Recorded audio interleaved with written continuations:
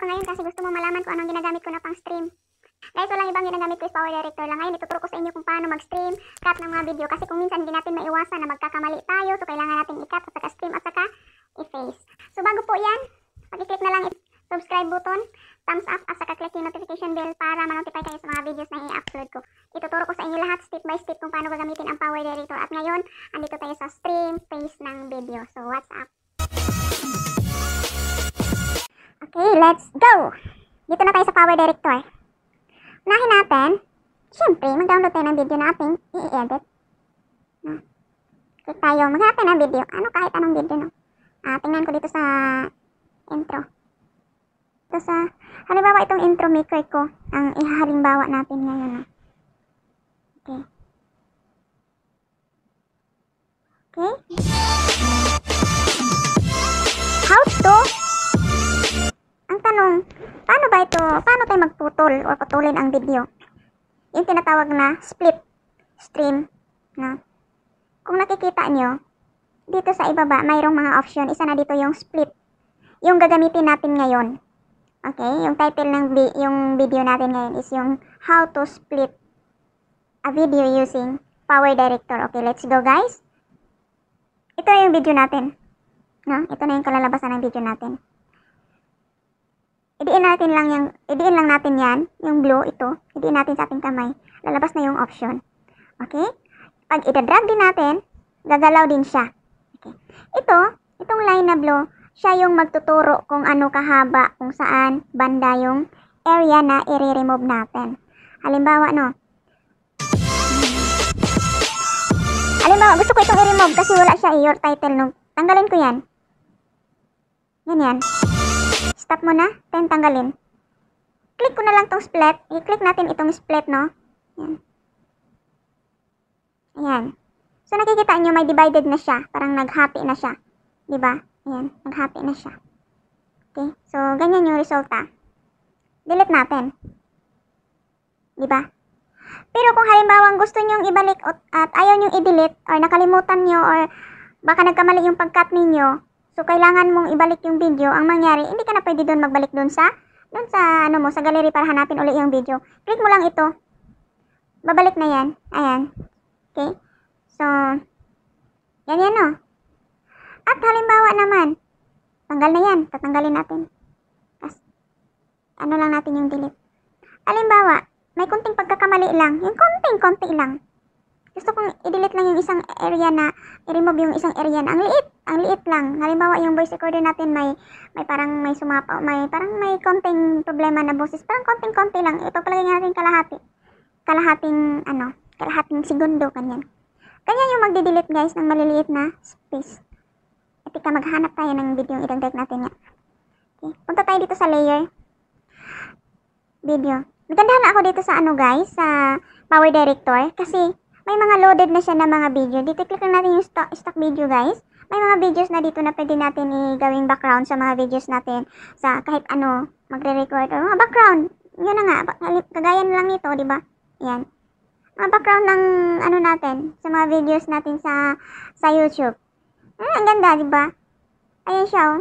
Yan ang nagandahan ko sa ano, nagandahan ako sa Power Director kasi may mga ano na siya. Ang ganda ng mga reflection ng mga videos, guys. Dito ako kumukuha ng mga ano, ng mga background sa music ko, sa Facebook page ko. Dito ako kumukuha ng mga ginagawa kong mga background sa sa music and lyrics ko. Ayan guys, oh, ang ganda. Yan yung nagagandahan ako sa Power Director kasi hindi na hindi na ako pumupunta sa ibang apps. Isa lang, isa lang itong ano, ah, Power Director. Andito na lahat yung kailangan mo, yung mga graphics, yung ah, mga animation, yung paggawa ng logo, paggawa ng yung ano mo. Basta lahat andito na. Okay guys, balik tayo sa topic natin ngayon. Magdagdag tayo ng isang video para ah, i-share natin sa mga viewers, no? Hmm, sige. Ito na lang i-add natin to. Pero I-download mo lang natin sandali guys ha. Mga beshe, mga birthday, mga sistis. Okay? Download mo natin sandali. Sandali, sandali lang. Yun ang nagagandahan ko sa ano sa Power Director kasi hindi gagaya ng iba na nag-download ng ano, yung cut, coffee face na photo, yung ah, cut and stream editor, yung mga logo animated, yung mga gumagawa ng mga logo, ganyan, di ba? Ako wala na eh. Ito lang. Isa lang yung ginagamit ko. Sa ano lang talaga, sa Power Director. Isa lang yung ginagamit ko na application. Lahat andito na. Hindi ka na kailangan pumunta pa doon sa iba. Dadami na lang yung mga apps mo sa screen, sa ano mo, sa cellphone mo, no? O, ayan na guys. Dagdag na lang natin to. I-click na lang natin yung plus. Ayan. Ayan na siya. Drag natin. Okay. So, ngayon, halimbawa, no, turo natin ngayon. I-touch lang natin ito ng fingers natin ha. Ganyan. O, lalabas na yung option sa baba. So, sabi ko kanina, kung halimbawa may gusto kang i-delete ng maliit na area or maliit na ano lang, segundo na i-remove mo sa video mo. So, ganito yung nangyari. Halimbawa, lagay natin yung blue dito kasi dito banda yung gusto natin na i-remove. Click natin yung split. Ayan. Tapos, kung may gusto kang i-remove na maliit, gaya nito, no? Ganyan kaliit, no? Pagpalagay natin, ganyan kaliit siya. Ang liit-liit, di ba? So, i-click ulit natin yung split. Ayan. So, ang mangyayari, natabunan na siya, no? Hindi mo makikita. Huwag huwag kang mag-alala, guys. I-click mo lang to ng fingers mo itong, ano, yung ito, ito yung blue. Ganyan. Tapos, i-drag mo lang siya. Okay? Tapos, ay. Tapos, ang mangyari nito, yung nakat natin, i-touch mo na lang din siya ng fingers mo para mag-highlight siya. Yan, ganyan, no? Yung ganyan kaliit, no? Yung, ano mo, yung i-delete natin. Yan, ang liit, di ba? No? Yan. So, i-touch na lang natin yung delete icon para ma-delete. Yan. So, ngayon, ito paano mo ba siya idudugtong? Yun, no? Paano mo idudugtong itong nahati na video? Madali lang yun, guys. Touch mo ulit siya ng, ano mo, ng fingers mo. Touch mo lang siya, ganyan. Idiin mo lang siya ng mahina at lalabas na yung orange at saka i-drag. Ayun, dudugtong na ulit siya. Okay? So, madali lang, no? Madali lang ang ano natin, ang tutorial natin ngayon. Sana ganun sanay nakatulong ako sa inyo at ah, abangan niyo yung susunod natin na mga videos. Marami kayong matutunan dito sa akin. I-share ko yung mga natutunan ko sa inyo step by step na konti, konti lang. No? At sa, wag mo, sana wag niyo kalimutan na i-subscribe ako at kung ikaw ay mat, matagal na nakasubscribe sa akin, paki ano na lang, paki thumbs up na lang guys.